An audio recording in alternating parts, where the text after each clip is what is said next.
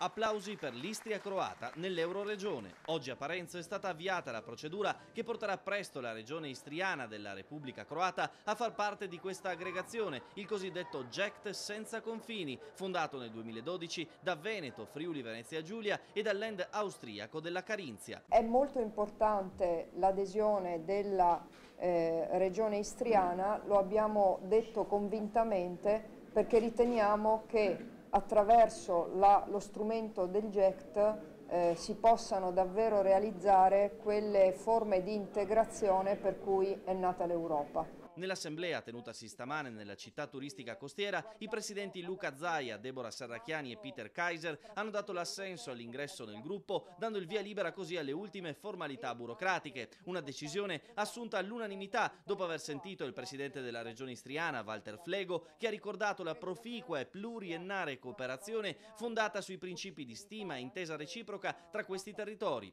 L'ingresso dell'Istria nell'Euroregione e la realizzazione di un sogno per il presidente del Veneto Zaia Baia, un progetto che si allarga sempre di più e che va a confermare che abbiamo lo stesso mare, ha detto Zaia, e la stessa storia. Oggi abbiamo costruito un pezzo importante della nostra storia, abbiamo messo insieme le nostre regioni e anche l'avvio del procedimento di adesione all'Euregio da parte della regione Istria è per noi straordinariamente importante e abbiamo voluto farlo tra l'altro nel giorno in cui l'Europa festeggia eh, in modo importante e necessario la, la propria affermazione. L'obiettivo del coinvolgimento dell'Istria è quello di alimentare la cooperazione tra territori limitrofi e chissà che finalmente non ne possa scaturire anche una proposta turistica complessiva per conquistare i mercati globali combinando il mare istriano e le sue perle come Rovigno, a Trieste città di cultura mitteleuropea, alla bellezza intramontabile e unica di Venezia.